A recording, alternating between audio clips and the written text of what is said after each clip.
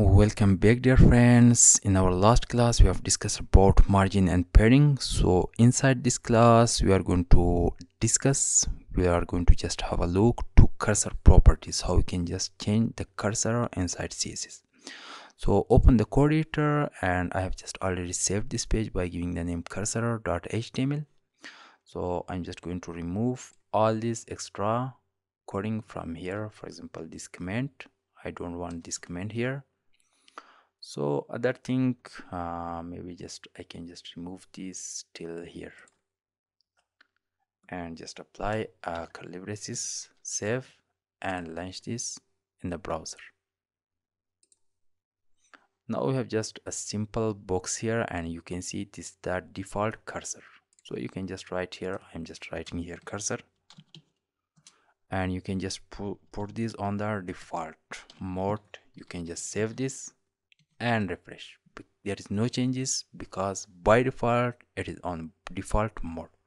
You can just change the value. For example you can say pointer save and refresh. So you can see this uh, now we have the hand option here. It means that we have changed the cursor. You can just uh, give different values for this. You can just write here cell save and refresh. Now we have just a plus option here you can just write here something like uh, cross here save refresh. So now we have just another cursor here. Uh, you can just uh, any one you can just apply here like zoom in zoom out zoom hyphen in. It will just give you a zoom in. Now you can see. And you can just apply here zoom out also save and refresh there are many like uh, I can just say for you there is copy mm, there is you can say help instead of copy save and refresh so you can see we have just changed many cursor options here. So from here from where you can find all these properties just simply uh, write on the browser any browsers you uh, browser you are using sorry. Uh, css cursor properties property list.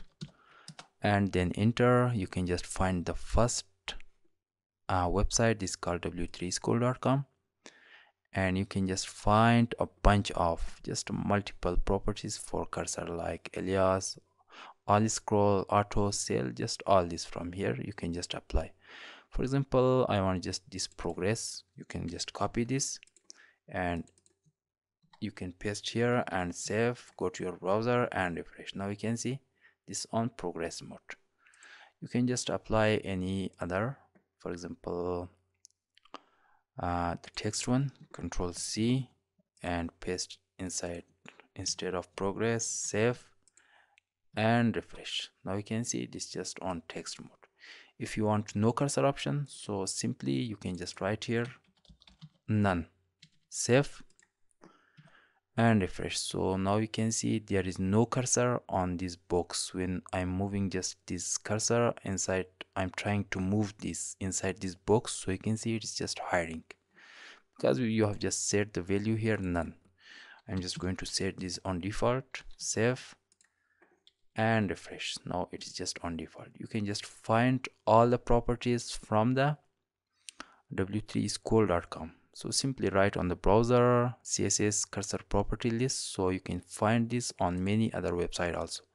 Like this website this website you can just find here but the best one is w3school.com so i hope you understand it is clear for you about cursor properties inside css so i hope you have enjoyed watching this video. So my target my purpose is to teach you uh, just in better way. Uh, i'm just trying to make this course as complete as you want but anything uh, if you find anything uh, incomplete inside this course uh, this is just very simple. You can just send me a message that uh, you have uh, for example about any topic that uh, you can say this incomplete uh, you can just ask me to record a new video.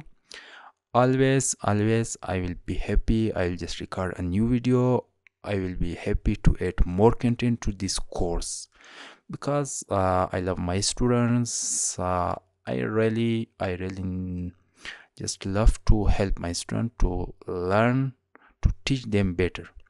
So in next class we will come back. We will discuss about uh, outline so till next class have a nice time and see you